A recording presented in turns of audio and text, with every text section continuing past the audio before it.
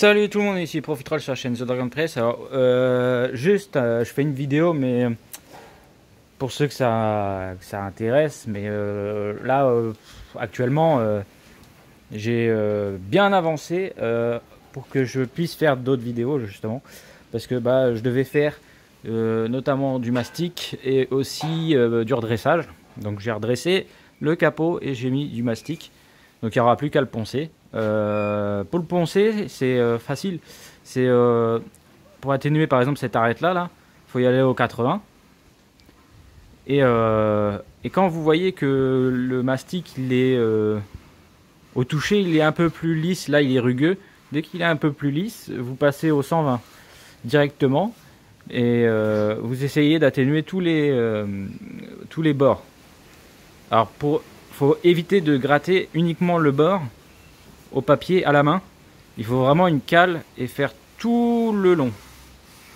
Parce que ça corrige les défauts. Donc ça veut dire que si par exemple ici c'est bien plat, c'est bien à fleur, mais par contre ici il y a encore un, on sent encore au doigt qu'il y a encore un bord, ça veut dire que euh, vous avez sûrement un creux ici et que vous, euh, si votre papier il ponce pas, c'est que bah, le défaut n'est pas corrigé. Donc euh, en général il faut remettre du mastic.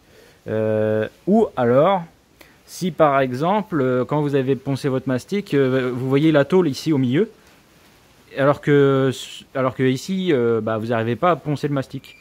Ça, fait genre une bosse là et là un creux. Et ben ça veut dire que vous avez mal redressé et que du coup il y a une bosse ici qu'il faut, renfoncer et après remettre un mastic. Donc c'est des petits contrôles visuels comme ça qui, qui disent si vous avez fait un bon boulot ou si vous avez fait de la merde. Alors là actuellement euh, je les ai pas poncés parce que j'attends qu'ils sèchent bien. Ils sont encore un peu... euh, je trouve qu'ils sont encore un peu euh, humides, un peu bizarres. Donc je les laisse tranquilles et je poncerai ça tantôt.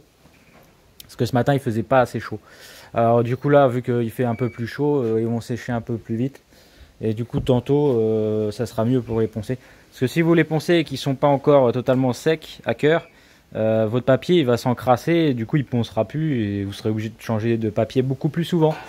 Donc euh, c'est là l'intérêt d'avoir euh, un mastic qui est super bien sec comme ça au moins bah vous usez beaucoup moins de mastic. Alors sur la face là ici avant du pare-choc, j'ai aucun défaut à corriger parce que bah déjà il y a la plaque qui cache mais même si je veux faire quelque chose de très pointilleux et bah au toucher il n'y a aucune déformation. Donc euh, du coup, je laisse comme ça, j'ai mis de l'anti-rouille directement et euh, comme ça je pourrais mettre euh, de l'après par-dessus.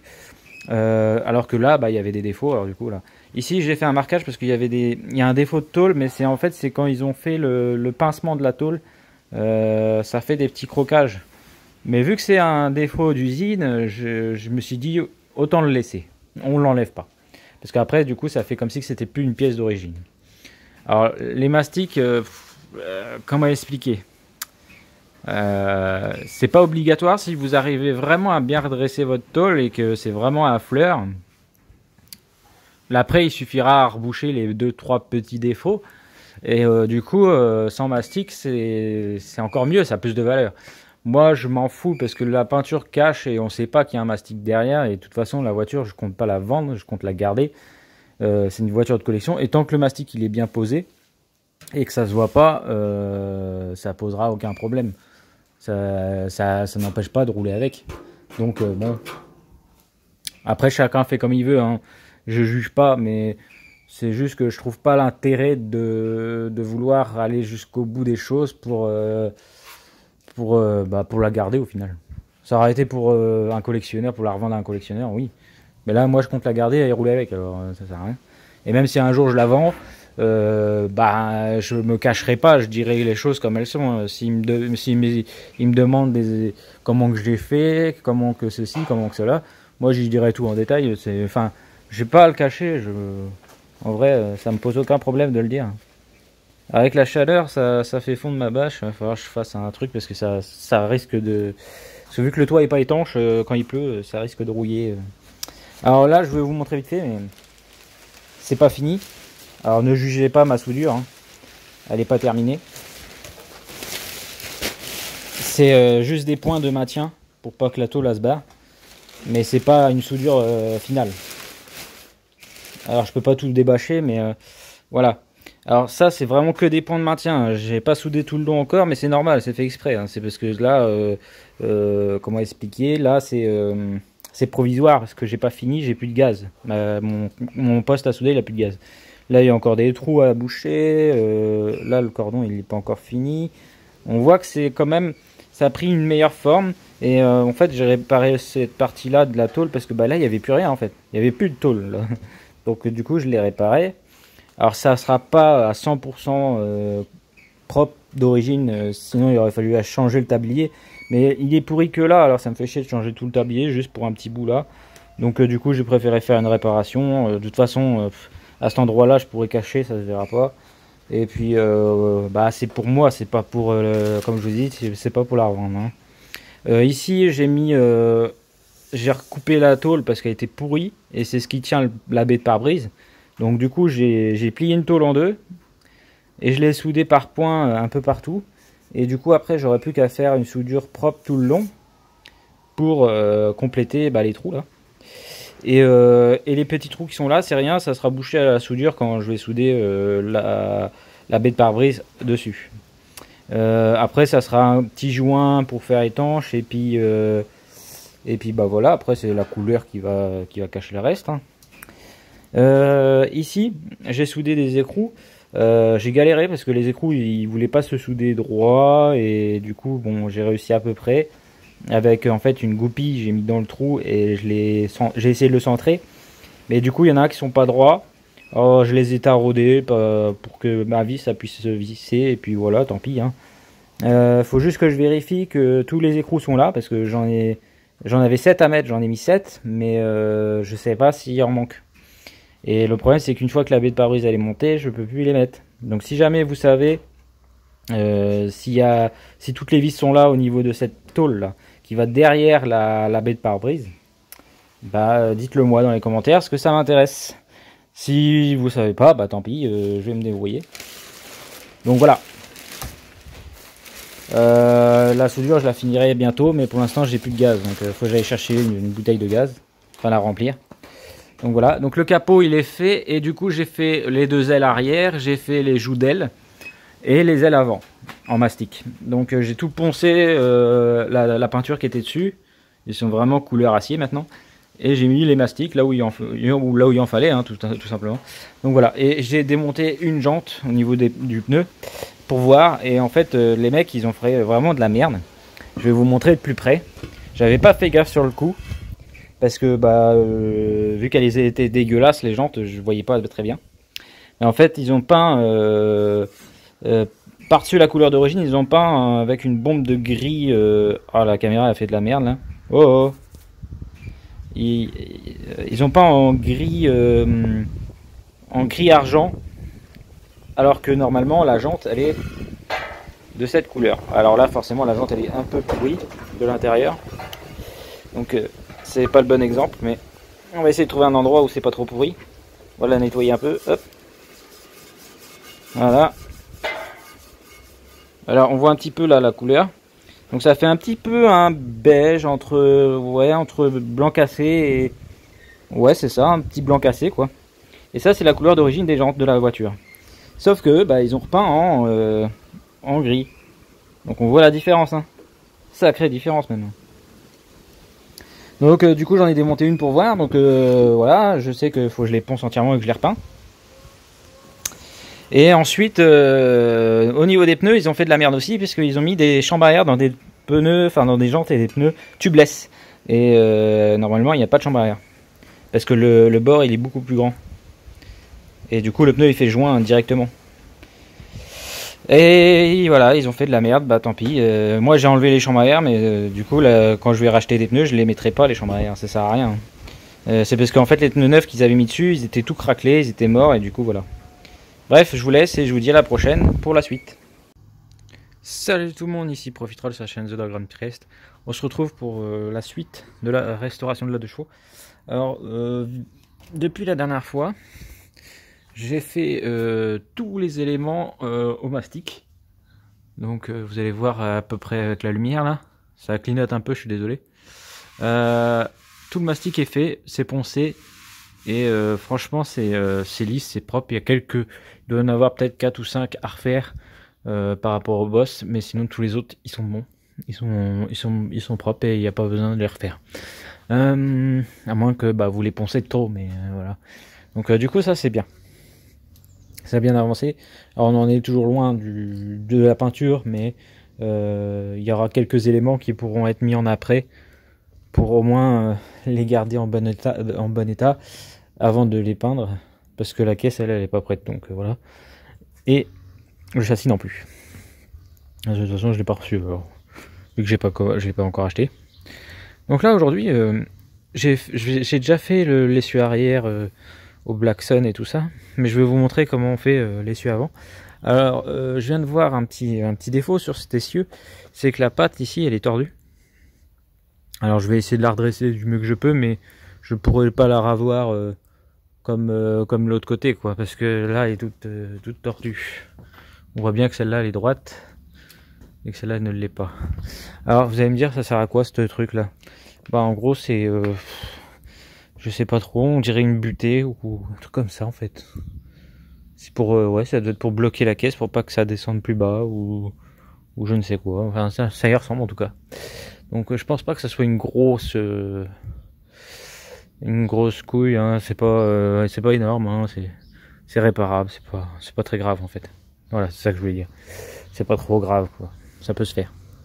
Alors là-dedans, il y a de la merde, que je la retire parce que c'est, ce qui bloquera le, le volant. Alors je peux pas le tourner parce que de toute façon déjà je peux pas le tourner à la main. Puis euh, il y a la, la direction, elle est posée sur la direction, là. donc c'est mort, je peux pas. Euh, cette partie là, euh, je suis censé l'enlever. Mais euh, ah, vous voyez peut-être pas, oui, excusez-moi. Cette partie-là, je suis censé l'enlever, le caoutchouc là qui tient la boîte de vitesse. Mais euh, j'ai pas vraiment envie parce que ah ça va pas. Oui, je vais pouvoir décaper, mais en même temps, ça me sert à rien parce que ici, je vais pas blacksonner. Donc au contraire, ça va plutôt me me servir pour pas blacksonner justement cette partie-là je décape tout le reste, je blacksonne et ensuite celle-là, cette partie-là, je l'enlève et je la décape euh, pour la peindre. Mais euh, ouais, je vais pas l'enlever avant, ça sert à rien. Et ensuite, du coup, euh, les choses qu'il faut faire attention, c'est par exemple l'axe de pivot ici. Alors il y a une, à l'intérieur, il y a une bague en plastique. enfin, ça ressemble à du plastique, je sais pas trop. Il y a une bague qui, qui, qui, tient étanche le, le cylindre ici. donc ça, c'est faut le nettoyer mais sans frotter fort hein. pas avec une brosse métallique hein. vous nettoyez avec je sais pas quelque chose un, petit tournevis plat par exemple et euh, pareil de l'autre côté hein. vous vérifiez que vos joints sont bien dedans et qu'ils ne fuient pas alors euh, moi c'est tellement sec que je peux pas savoir si ça fuit ou pas parce qu'en fait c'est de la graisse qui est dedans et si elle s'est échappée la graisse bah, il n'y a plus de graisse donc le truc il est mort et euh, du coup ça veut dire qu'il faut changer euh, les, amortisseurs euh, à friction qui sont de chaque côté. Mais moi, j'ai pas envie de les changer, donc je vais les laisser. Euh, parce que ça se trouve, ils sont morts, hein, vu l'âge qu'ils ont. Mais moi, ils vont rester comme ça. Hum, après, je sais pas si ça a une durée de vie plus longue que les amortisseurs classiques, j'en sais rien. Donc l'axe de pivot, on voit bien qu'il a, déjà été graissé, c'est tout noir, c'est tout dégueulasse. Mais c'est pas de la graisse neuve, c'est pas de la graisse propre. Donc ça veut dire que ça a été fait, mais il y a longtemps. Euh, de l'autre côté, bah forcément c'est pareil, c'est même pire. Donc euh, tout ça, faut que je le nettoie. Et du coup la graisse, je sais pas trop comment je vais faire. Je vais commencer par la brosse métallique, et après on verra bien. Si ça part pas, bah je ferai autre chose. Ah, ton dernier là. Il y en a un paquet à retirer. Bon. Et puis euh, bah du coup les goujons, pareil, je les laisse, je vais les laisser sur sur les roues. Les, les goujons là, je vais les laisser là sur les axes. Parce que toute cette partie-là, va falloir que je la cache pour pas justement blacksonner cette partie-là et le, roulement non plus. Uniquement la coquille à la, limite, mais je suis même pas sûr de le faire. Parce que là, pareil, l'axe de pivot, faut pas que je le fasse non plus. Donc ça se trouve, je vais cacher tout le, tout la roue là, jusque là. Mais j'ai envie de faire quand même le cylindre qui est derrière. Le cylindre, lui, euh, ce serait pas trop, pas trop mal. Euh, surtout, ne pas faire la barre au niveau du filetage. C'est pour régler la, la biellette. Ça, euh, je le blacksonne pas moi. Eux, ils ont peut-être dû le faire, mais moi je le fais pas. Donc voilà. Parce que c'est après c'est rien enlevable. quand tu veux desserrer. Ouais, non, ils l'ont pas fait, mais c'est de la terre ou je sais pas, c'est de la merde qui s'est mis dessus. Ouais, c'est de la merde. On va faire je brosse pour pouvoir le desserrer un jour si j'ai besoin. Même si là, dans l'optique, je touche pas, il restera comme ça. Jusqu'à ce qu'un jour il casse. Littéralement, parce que c'est ce qui se passera sans doute. Bon. Alors je vous fais voir un petit peu, puis après bah, le reste vous allez faire comme moi, vous allez faire, vous allez faire jusqu'au bout quoi. Donc là où c'est rouillé partout, c'est-à-dire vous passez un coup de brosse métallique avec la perceuse.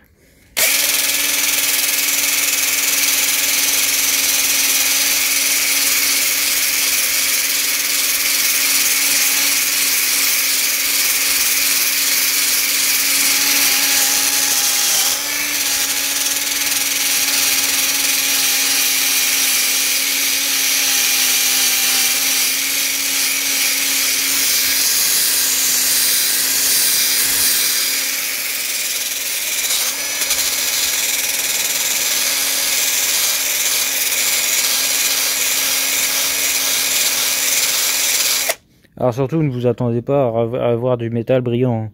Ça, ça enlève un petit peu la rouille, mais ça enlève pas tout non plus. Hein. C'est pas un remède magique. Hein. Ça enlève le plus gros, quoi.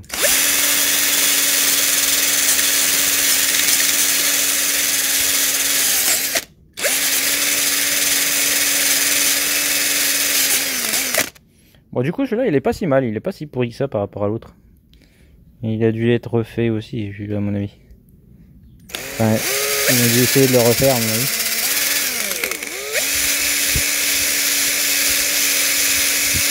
Ils ont un peu foiré, mais bon. Comme tout le reste, quoi. Alors, du coup, après, bah, vous faites ça partout, hein.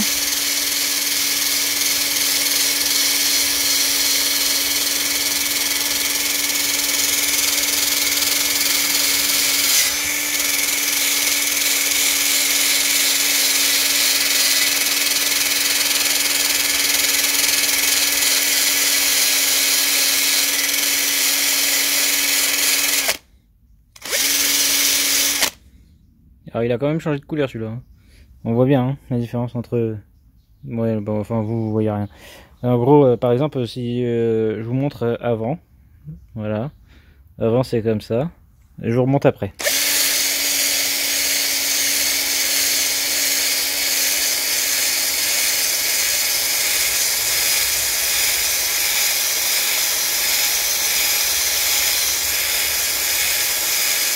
Et là, c'est en frottant sans me fatiguer. Hein. C'est vraiment, je frotte à peine. Là, on voit la différence. Hein. Donc voilà, faut faire ça sur toute la, la, hum, toute la partie que vous allez blacksonner.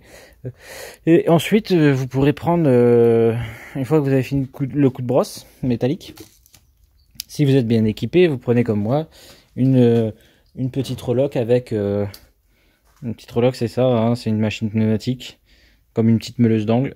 Avec au bout, vous mettez un, un disque à euh, enlever la peinture. Euh, enfin là, celui-là, c'est un, quand même un coriace celui-là. il enlève plus que la, il enlève toute la rouille, tout. Mais il y en a d'autres qui sont plus fins et qui enlèvent uniquement la peinture. Mais celui-là, il enlève vraiment euh, tout. Et ça, c'est bien.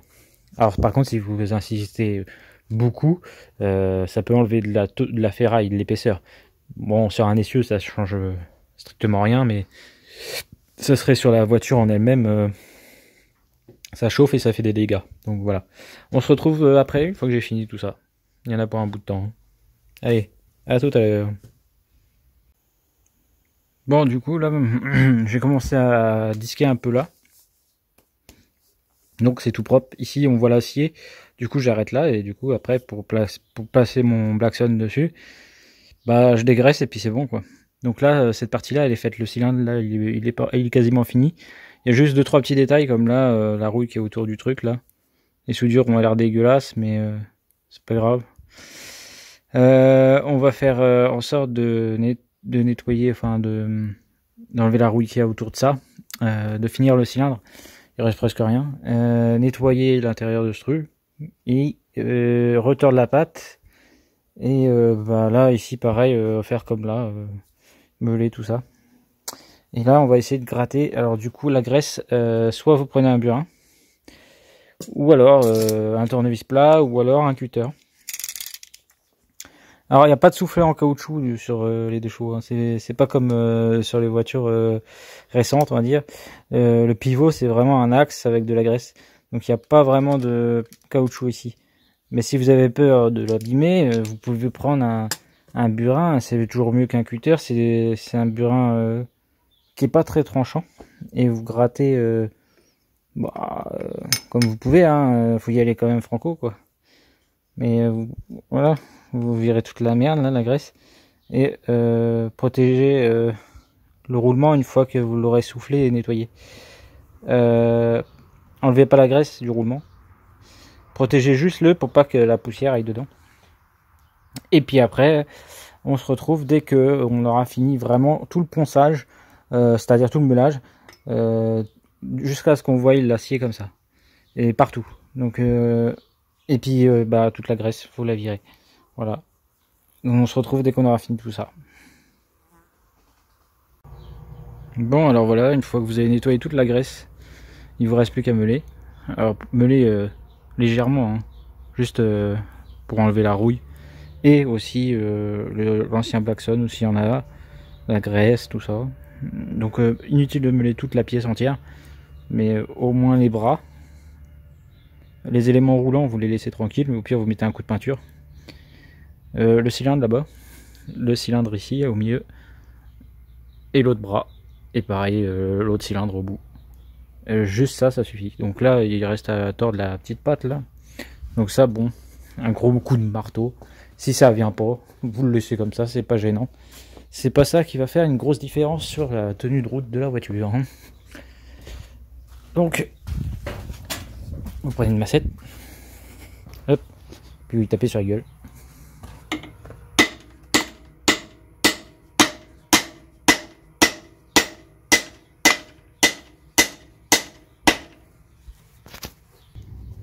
Bon, euh, ma fabrication à la maison, elle, tient plus très bien, mais bon, euh, il, tient dessus, c'est le principal. Malgré que, bon, euh, je m'en fais voir toutes les couleurs, mais c'est pas ouf, mais bon, on fait avec. Alors, du coup, j'ai réussi à redresser la patouille, en effet. Bon, elle est pas parfaite, mais elle a déjà une meilleure mine. Après, c'est pas grave qu'elle soit pas parfaite parce que c'est juste un butoir, hein, donc inutile que ça soit nickel. C'est pas grave, le Blackson va cacher l'effet que ça soit tordu. Hein. C'est pas, grave. Et euh, si vous pouvez, vous mettez un scotch sur le, tampon euh, Citroën qui est ici. Là. Alors si c'est euh, une crémaillère comment d'origine. Si c'est pas une crémaillère d'origine, vous aurez plus le logo Citroën, je pense. Alors moi j'ai le logo Citroën et c'est marqué soit 0 ou soit 10, je sais pas, parce qu'il y a, il un impact juste avant le 0, mais alors je sais pas. Mais bon bref, du coup j'ai vu que j'ai la marque de la crémière, pour pas que le Blackson cache euh, la marque, on met un petit scotch euh, dessus euh, qu'il faudra penser à retirer après. Alors du coup en scotch, vous prenez n'importe lequel, hein. mais le mieux c'est quand même bande cache parce que c'est ce qu'il faut pour la peinture. Voilà, il est caché. Comme il s'appelle bande cache, il est caché. C'était une blague de merde. Bon, du coup, vous mettez en gros un petit bout là, Pensez à faire un petit, euh, un petit repli ou je sais pas pour essayer de pouvoir le retirer après. Parce qu'une fois que la peinture est dessus, il n'y arrive plus. Putain, une main, j'arrive même pas enlever ce scotch de merde. Voilà. Vas-tu venir, enfoiré Ouais, il colle peu. Bon, allez hop, ça dégage. On va prendre un autre. Alors, excusez-moi, vous voyez rien. On va faire un petit rebord, un petit repli. Tac.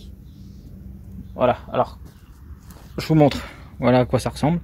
Donc ça fait un petit, euh, un petit truc qui dépasse comme ça. Et du coup, vous l'appliquez bien, vous collez bien euh, tout autour du truc. Ça va faire un petit carré là où il n'y aura rien du tout. Mais c'est pas grave, c'est la peinture qui couvrira. De toute façon, il va falloir cacher euh, la colonne de direction là. Il va falloir cacher plein de trucs. Donc c'est pas grave qu'il manque un peu de Blackson à cet endroit là. Puisque de toute façon, on va devoir cacher pas mal de choses pour pas que le Blackson aille partout. Euh, et surtout ne, pas mettre de Blackson sur les vis, hein, comme ils ont fait. Parce qu'après, pour euh, retirer la vis, vous êtes euh, un peu dans la merde. Bon. du coup, je vais, je vais meuler. alors, je vous montre un peu vite fait, mais ça fait du bordel, hein, comme d'habitude, hein, le meulage. Vous connaissez à peu près, maintenant, à force que j'en fasse.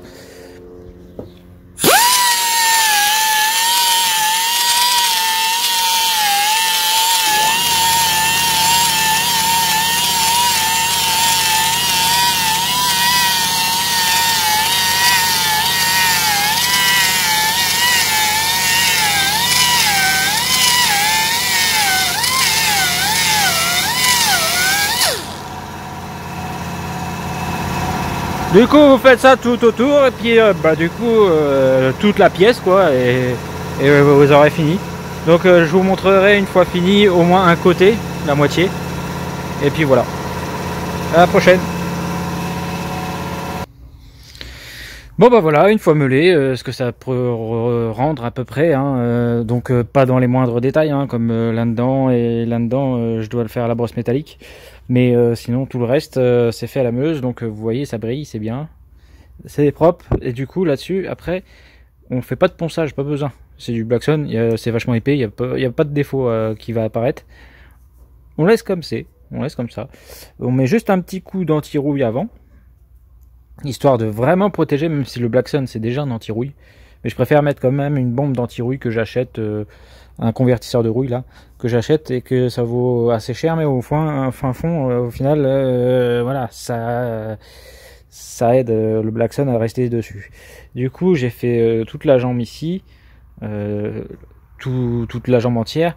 Ça bah j'ai pas touché parce que c'était déjà fait donc enfin je l'avais déjà fait donc je vais pas le refaire j'ai juste meulé les, les petites boulettes de soudure que d'usine il laisse, je sais pas pourquoi, mais bon voilà. J'ai fait un coup de brosse métallique là-dessus parce que ça, ça, avait commencé à rouiller euh, pour que je puisse euh, enquiller mon volant euh, dessus. Donc du coup je vais le protéger, mais avant je vais mettre de la graisse et ensuite je vais mettre un, un truc pour le protéger. on verra ce que je trouve. pareil ici je vais refaire le filetage propre, remettre un petit peu de graisse et, je cacherai le jour où je vais faire le Blackson. Donc bref, voilà. J'ai soufflé le roulement, mais du coup, toute la graisse a commencé à se barrer. Donc euh, je vais remettre de la graisse, pareil, à l'intérieur, et genre bouche pour cacher. Ici, il faut une pompe à graisse, j'en ai pas encore, mais euh, par la suite, je, vais le graisser. Euh, et j'ai fait, du coup, j'ai rasé aussi le cylindre qui est là.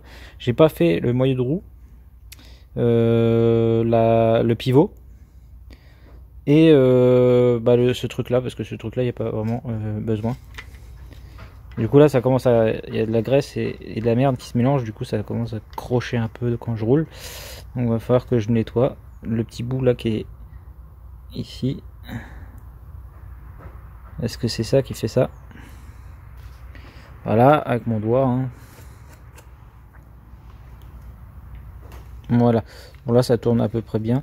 Il faudrait remettre un peu de graisse et enlever l'ancienne parce que ça, ça fout de la merde partout et du coup c'est pour ça que ça, tourne mal. Celle-là normalement elle tourne bien. pareil, il y a de la merde qui est tombée dedans, sinon elle tournait nickel avant. Mais on entend un peu de saleté dedans. C'est le voisin ou c'est. Je sais pas. Il y a quelqu'un qui tape mais au marteau, je sais pas si c'est le voisin ou si c'est ici. Enfin bref. Du coup, euh, il restera plus que ce côté-là à faire que j'ai pas fait. On voit bien, hein, celui-là il est pas rasé. J'ai eu quand même gratté donc. Euh, il n'y a, plus grand chose à retirer, mais il n'est pas à raser. Pourtant, on a l'impression. Mais au final, non, c'est juste euh, l'autre machine que j'ai passé avant dessus. Mais bon, bref. Et euh, pour la terre qui est sur le plastique, je vous conseille une brosse métallique sans appuyer. En frottant, ça, enlève toute la poussière. Et puis vous finissez par euh, soit le laver avec du savon ou quoi. Mais juste pour le rendre plus propre. Et sinon, bah pareil de ce côté-là quoi. Donc euh, voilà. En tout, voilà, c'est tout ce que j'ai à dire. Euh, là, j'ai juste fait le, l'arasage et, et demain, on va s'occuper de faire euh, bah, l'autre côté, pareil que celui-là, cacher, graisser, etc. Et ensuite, bah, faire le blackson. Et puis, bah, forcément, faire les petits détails hein, avant de faire le blackson. Voilà, donc on se retrouve demain pour la suite. Alors nous voilà pour la suite. Du coup, euh, qu'est-ce que j'ai fait depuis hier? Parce que bah, du coup on est au deuxième jour. Bah hier j'ai gratté un peu. Euh, désolé pour le vent. Si ça claque les portes et tout, c'est pas ma faute. Donc du coup euh, il fait chaud aujourd'hui, j'en suis. je l'ai ressorti parce que hier je l'ai rentré parce que la, la, fraîche du matin fait que c'est humide alors sinon ça aurait rouillé par dessus ce que je viens de faire. du coup, bah, j'ai gratté tout le, tout le, tous les cieux arrière ou avant, non c'est avant, hum, tous les cieux avant, euh, avec la, la meuleuse, euh, comme je vous ai dit hier. Et euh, du coup, ensuite, bah, ça donne un, truc couleur métal, mais partout. Alors partout, c'est vite dit, il y a des raccoins qu'on peut pas vraiment aller. On gratte au mieux, mais voilà, ça partira jamais. c'est pas, c'est pas, c'est pas grave. Euh, ça protégera quand même. Là, ce que je vais faire, c'est que pour les raccoins comme ça, là, où il y a encore de la rouille, euh, je vais mettre du. Comment que ça s'appelle? De la du produit là qui. Euh, qui. comment on appelle ça hmm, En gros, ça. Je sais plus le nom, mais ça, ça, ça transforme la rouille en métal. Donc en gros, ça stoppe la rouille plutôt. Hein et euh, le métal euh, reprend euh, de sa force. Mais par contre, il restera toujours couleur rouille. Ça, faut pas croire que ça fait du neuf avec du vieux. Hein. C'est impossible. Alors, je viens de voir que les soudures sont pas sont pas parfaites chez, chez Citroën quand ils ont fait les, essieux, mais bon, c'est pas grave. Le principal, c'est que ça tienne. donc, du coup, hmm, bah maintenant qu'on a fait ça, une fois que vous avez tout meulé, vous passez un coup de soufflette pour tout nettoyer. Donc euh, moi je viens de le faire. Et ensuite vous prenez du euh, du produit pour dégraisser. Alors du produit pour dégraisser, il y en a beaucoup. En carrosserie, nous on utilise plutôt euh, en carrosserie on utilise plutôt du comment que ça s'appelle? Du dégraissant. non, c'est pas du dégraissant, c'est du du diluant de nettoyage, voilà, excusez-moi, je cherchais. Donc euh, en carrosserie, on utilise du diluant de nettoyage parce que c'est ce qu'on sert pour nettoyer les pistolets. Parce que si on le fait avec de l'alcool ou de l'essence, ça bousille les joints. Donc euh, on est obligé de le faire avec ce genre de produit qui pue la mort. Mais euh, si par exemple vous c'est juste pour nettoyer la pièce et que vous n'avez pas de pistolet à peinture à nettoyer, dans ce cas-là vous pouvez utiliser bah, de l'alcool à 90 euh, ou alors, comme j'ai dit tout à l'heure, hmm, je sais plus, l'alcool à 90, ou alors du, du, du, de l'essence, ou enfin l'essence, je préfère pas, parce que ça risque de pas vraiment nettoyer. Ça va plutôt salir que nettoyer, je vous dirais. Euh, le mieux, c'est plutôt, ouais, plutôt l'alcool à 90 ou alors, euh, en fait, quelque chose qui s'évapore, mais mieux que l'essence. L'essence, ça s'évapore, mais l'essence d'aujourd'hui, euh, c'est un peu de la merde. Donc voilà. Mettez plutôt, ouais, de l'alcool à 90, ça coûte moins cher, ou alors, sinon. du white spirit ça peut ça peut marcher mais le white spirit c'est pareil c'est pas très agressif alors ça risque d'être pas euh, top top quoi. Bon, après si vous n'avez pas les moyens, c'est ça dépanne hein, mais si vous voulez un beau résultat, euh, le White Spirit euh, ça dégraisse pas tant que ça. Hein. Ça nettoie bien les pinceaux mais c'est pas fait pour nettoyer l'acier comme ça. Bref, du coup moi je vais utiliser du, diluant de nettoyage que lui me reste. et ensuite, eh ben, je vais vous montrer pour le Blackson. Et à la fin, je vous montre le résultat final une fois blacksonné. Bien sûr, faut vous penser à cacher toutes les, toutes les parties qui sont pas blacksonnées. Hein. Euh, les caoutchoucs, euh, les, les, bouts qui dépassent, euh, les roulements de roues, enfin tout ce qui n'a pas besoin d'être mis en blackson. Et après, ben, une fois qu'on aura fini de blacksonner, on attendra que ça sèche. Et voilà. Et, et après, ça sera tout bon, on n'aura plus qu'à le ranger. Euh, le seul truc, c'est que je vais vous montrer aussi l'anti-rouille. Mais pour ça, il faut que je dégraisse avant, parce que sinon ça sert à rien. Donc je dégraisse et euh, je vous montre euh, le produit anti-rouille. moi j'achète en bombe, ça coûte cher, mais mais quand j'achète en bidon, c'est pas moins cher. Donc en bombe, c'est ça s'appelle Brunox Epoxy. je trouve qu'elle est super efficace. Alors c'est un stop rouille, c'est une couche de fond comme un primaire, ça remplace un après en fait, un après peinture. Parce qu'il y a des après où il y a ça déjà dedans. Lui il est à part, pourquoi? Parce que ça peut être utile pour euh, dégraisser, enfin pour euh, empêcher la rouille plus efficacement avec ça, plus l'après. Ça fait deux couches en une, quoi, si vous voulez. Euh, je fais pas de la pub parce que je, m'en fous, je suis pas payé par eux. Et puis, au vu le prix de la bombe, je trouve ça abusé.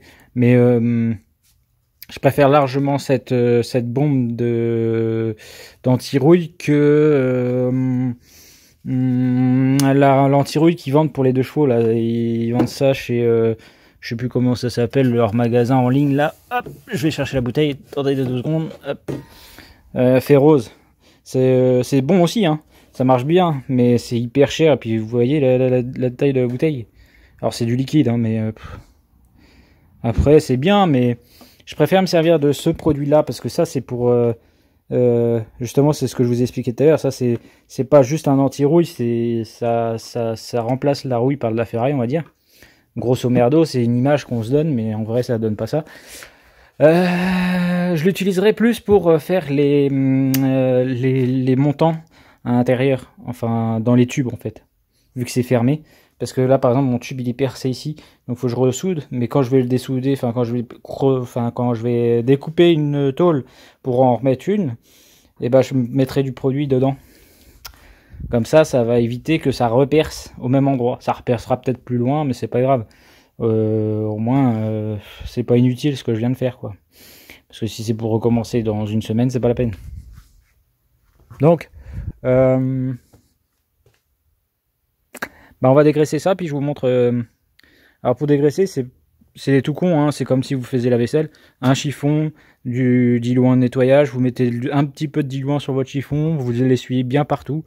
Euh, le mieux c'est de l'essuyer une fois qu'il a... Hum, avant qu'il sèche. Mais bon, quand vous êtes tout seul, c'est pas évident. Et après, bah, vous avez juste à... Une fois que vous avez essuyé ça, bah, après je vous montre pour la bombe, c'est pas compliqué, il faut juste asperger partout comme si vous peignez à la bombe. C'est tout simple. À tout à l'heure. Du coup, une fois dégraissé, euh, ça change pas, ça reste pareil. Vous prenez votre euh, anti-rouille, hein, peu importe lequel, vous le mélangez bien.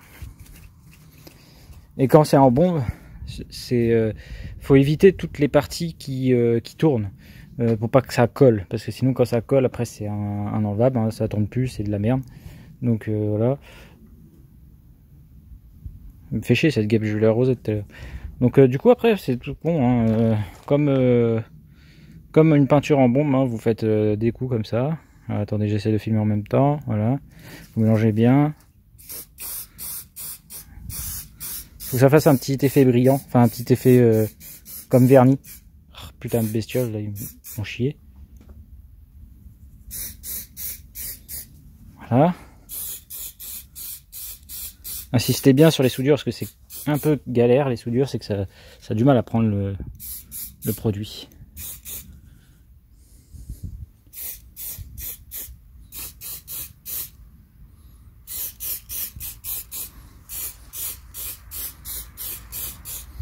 N'hésitez pas à en mettre partout. Hein. Là où c'est vissé, vous pouvez en mettre, ça évitera que ça rouille. C'est pas de la graisse, mais euh, ça le fait. Donc après, une fois que vous avez fait ça, bah, vous faites partout pareil. Hein.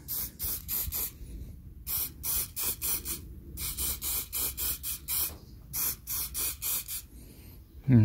Dans les raccoins surtout.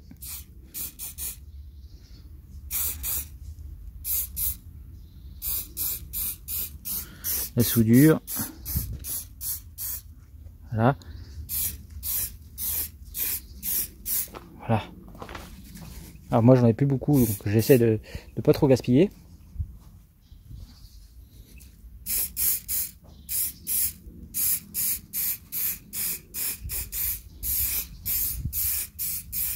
Voilà.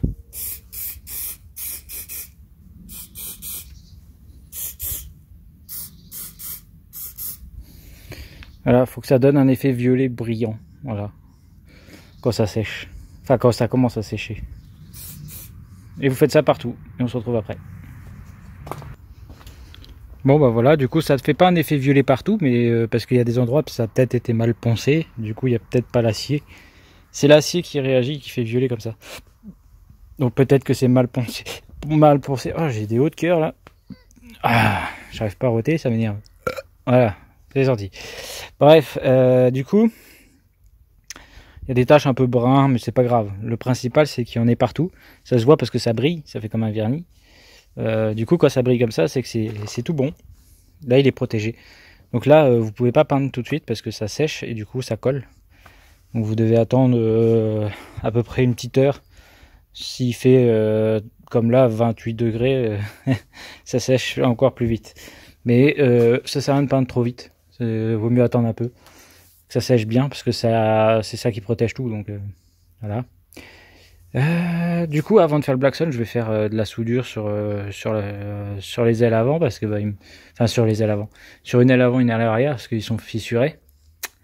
Du coup, je vais faire ça avec du fil fourré parce que bah j'ai pas de gaz et pour les ailes, ça devrait le faire avec ce petit poste là. Ça devrait le faire. Et du coup, quand ça, sera sec, et bah, je vous montre pour le black sun. Voilà. Alors voilà, une fois dégraissé, une fois que le l'anti-rouille est posé et qu'il est sec, on peut toucher, c'est plus collant. Euh, on n'a plus qu'à cacher les parties qu'on veut pas peindre. Donc euh, moi j'ai caché à la grosse, j'ai pas pu le cacher euh, ici parce que c'est trop compliqué, mais c'est pas grave parce que cette partie-là, vu qu'elle est rouillée, ça va pas adhérer. Donc il y, aura, il y aura juste à gratter, ça va partir tout seul quand ça sera sec. Et cette partie-là, ça va accrocher normalement. Si vous voulez être sûr, vous pouvez poncer légèrement au 400, un truc comme ça ici, sur le, sur le truc que vous avez mis, mais normalement il n'y a pas besoin. Et euh, après c'est tout bon. Donc on protège surtout les roulements, euh, les caoutchoucs, euh, et puis bah, la crémaillère pour bien que ça s'emboîte.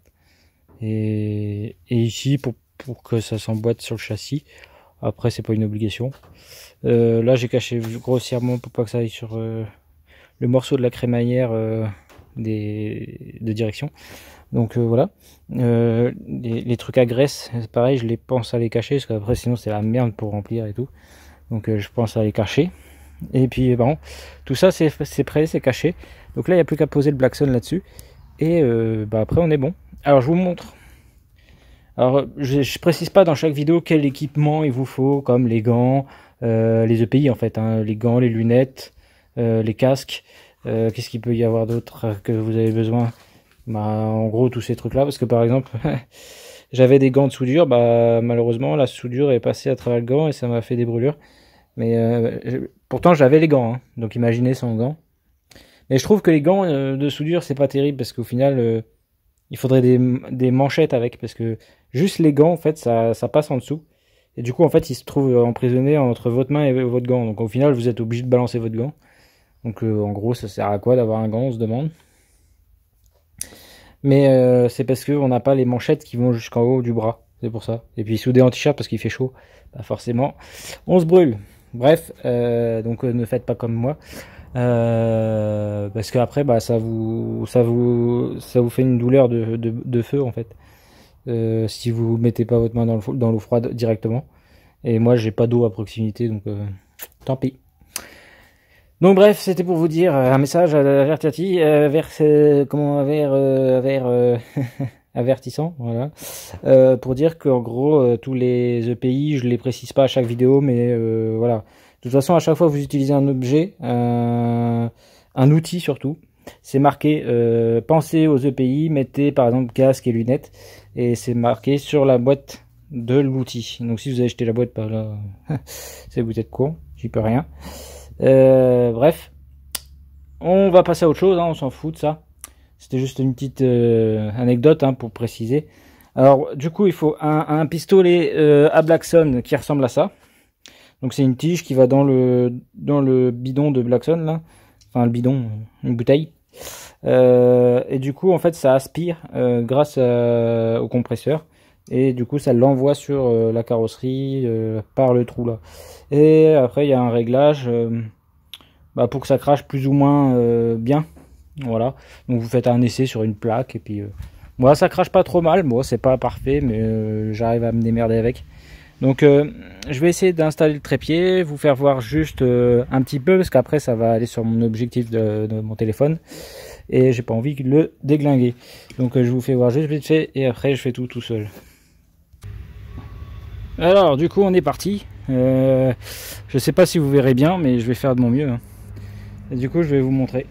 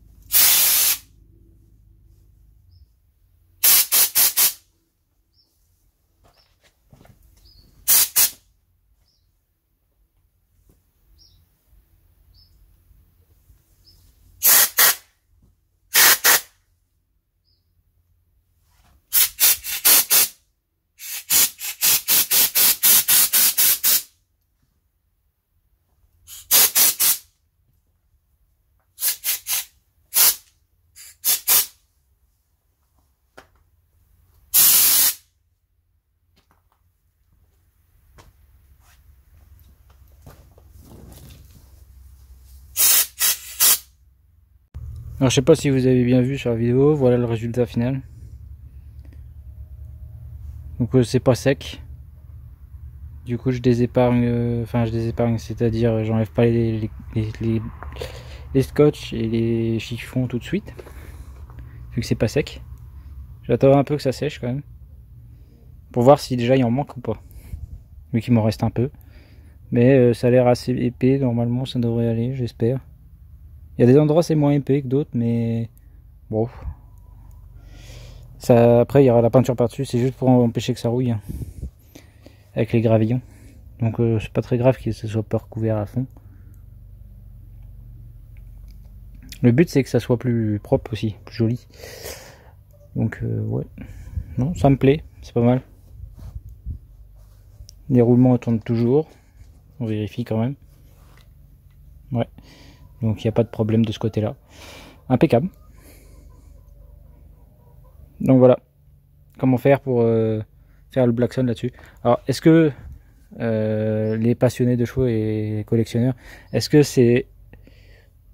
Comment dire Est-ce que pour vous, il faut absolument le faire même si c'est pas fait d'origine Ou est-ce que, au contraire, faut la restaurer d'origine, mais ne pas appliquer les méthodes modernes pour améliorer la, caisse pour pas carouiller, par exemple Est-ce que le mieux c'est de la laisser dans son jus, même si elle est pourrie, ou euh, vaut mieux euh, modifier certains points?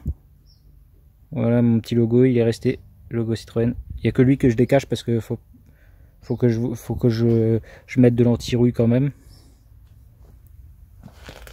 Alors euh, du coup je vais chercher ma bombe d'anti-rouille après pour en mettre dessus mais il faut que qu'il sèche le, le Blackson. Donc voilà, euh, c'était juste pour vous montrer bah, le résultat et puis euh, bah, que moi pour moi je trouve que c'est nécessaire pour une deux chevaux. C'est c'est pas quelque chose qui la modifie vraiment, c'est plutôt quelque chose qui l'améliore même si à l'époque ça n'existait pas. Maintenant ça existe donc autant en profiter. Et puis je pense pas que ça fasse vraiment perdre la valeur à la voiture. Hein. Moi, au contraire, je pense que ça en rajoute un peu. Mais bon, chacun a son point de vue. Euh, et puis, bah, du coup, euh, pour les soudures, je vous montre pas parce que c'est des soudures un peu dégueulasses vu qu'il n'y a pas de gaz. Mais en vrai, ils sont bien, ils sont soudés, c'est déjà ça.